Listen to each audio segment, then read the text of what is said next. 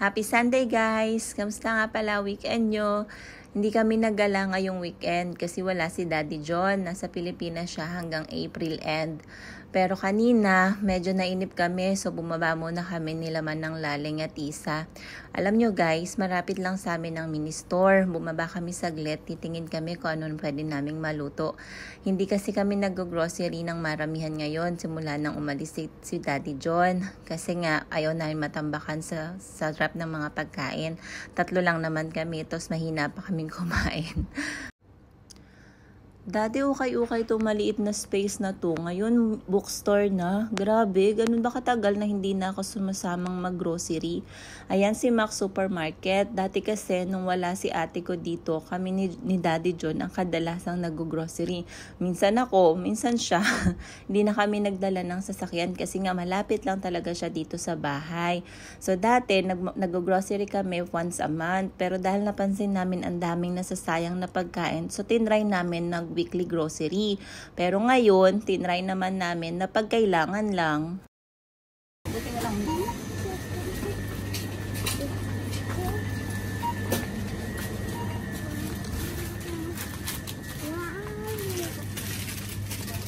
O ayan, dahil nga yung bibilin lang namin is yung kailangan namin for a day or two, diretso na agad si ate, doon agad sa likod na hinahanap niya na agad yung kanyang mga kailangan.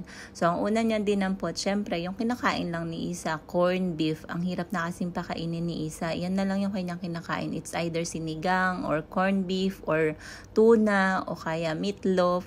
Yan na lang yung mga inuulam niya. The rest, ang hirap niya na talagang pakainin. Struggle is real. Kayo din ba mga mami? Nag-struggle din kayo sa mga anak niyo? As in, napaka-picky na kasi ni Isa sa food ngayon. So, ayan, dito naman kami sa vegetable, fruits, and fish area.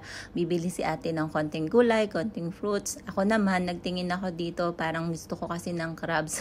Naging paborito ko na ang seafood. Simula nang mahilig ako sa harabas. Hi harabas, baka naman.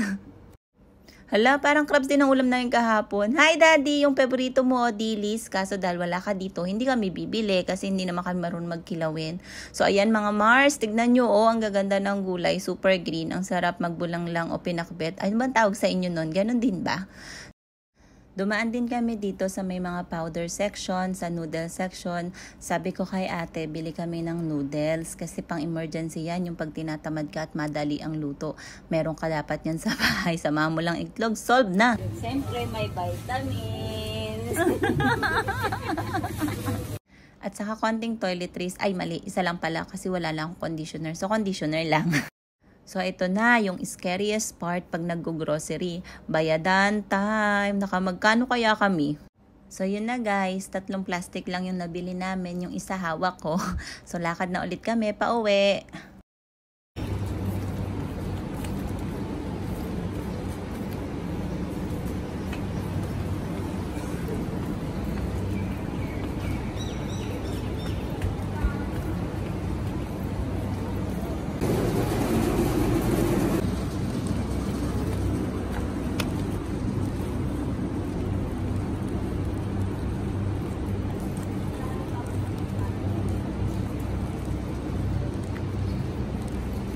Kaya nahanap nyo si Isa guys, ako yung may hawak sa kanya kasi hindi na kaya ni ate, mabigat na yung dala niya. By the way guys, dyan ako nagpapaputol ng aking pants. Alam nyo na, long-legged ang lola nyo.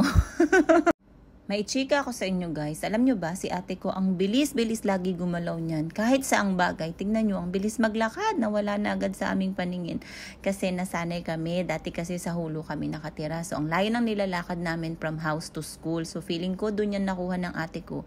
Saka feeling ko habang tumatanda ka, ganun talaga. O, di ba? Ang bilis-bilis, hindi na namin siya naabutan as in, nauna na siya. Alam nyo, ganyan din yung nanay ko. Kung maalala nyo guys, nagpunta dito yung nanay ko, saka yung biyanan ko sa UAE. Yun din yung comment ng biyanan ko kay mother ko. Sabi niya, ang lakas-lakas pa daw ni nanay ko. Kasi nga, ang bilis maglakad, kala mo hindi 80 years old. Ayan, hinintay na lang kami sa lift. Sobrang bilis kasi maglakad. Ang bilis ni Manang Lani. Isa, what did you? What's that? Did you pay? Did you pay that? Aroy! May upo pa din si Bebe. Ay, naku, kapagod ba punta sa loob. Tapos may dala-dala. Alam nyo kung ano nakakatuwa kay Isa? Pag galing yan sa labas, automatic, pagdating niya ng loob ng bahay, maguhubad agad yan ng tsinelas.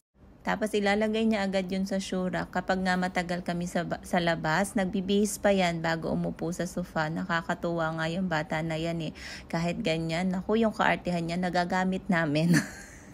So ayan, dahil mamaya pa naman kami magluluto, nagsayaw-sayaw muna kami. Kasi kagabi natuwa ako, sinend ko kay teacher yung ginawa ni Isa sa Gift for You na kanta. So nagsend sa akin si teacher ng dalawang song, ginawa ulit namin today.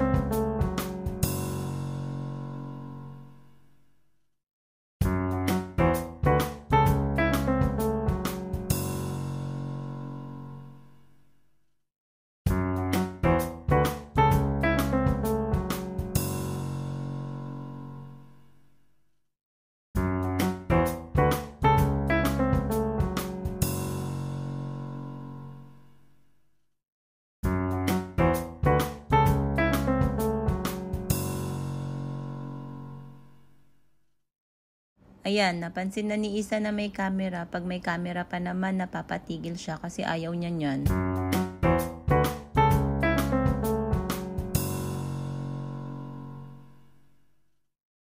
So ayan, as expected, napatigil na ang aking unika iha kasi alam niyang may nakatutok na camera sa kanya. So nawalan na ng gana.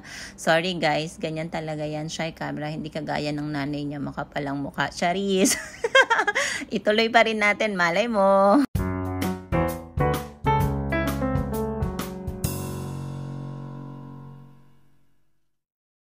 O, di ba Lumalayo at umiiwas na siya sa camera. Ayaw niyang makita siya.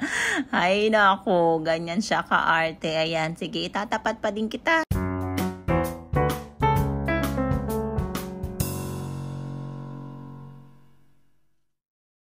Ay, nako. Huwag na nating pilitin. Nawala na ng gana yung bata.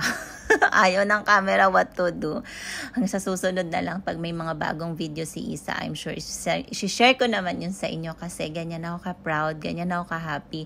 Sabi nga nila, even a small progress is still a progress. So, yun lang guys. Salamat ulit sa inyong pagsama. Magluluto muna kami para mamaya makakain na kami kasi anong oras na. Salamat ulit guys and God bless everyone.